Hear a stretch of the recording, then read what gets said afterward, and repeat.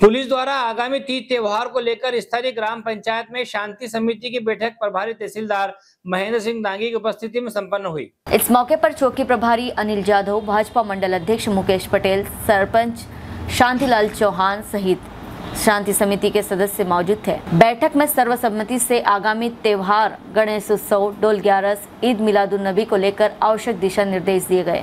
वहीं सभी त्योहार शांति सद्भावना पूर्वक मनाने का निर्णय लिया गया।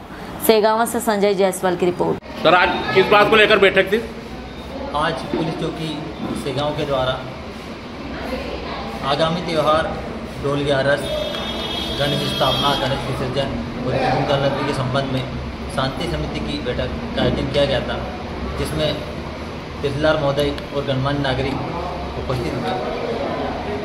इसमें सभी को जो है गणेश स्थापना के संबंध में संदेश दी गई है कि जहाँ पर भी पांडाल बनता है वहाँ स्वेच्छा के लिए दो व्यक्ति रहेंगे और लाइट के जो है अस्थायी कनेक्शन ले लिया जाएगा और कटे कटे जो तार न लगाया जाए और गणेश विसर्जन जो निर्धारित स्थल जहाँ क्या किया गया है वहीं पर किया जाए।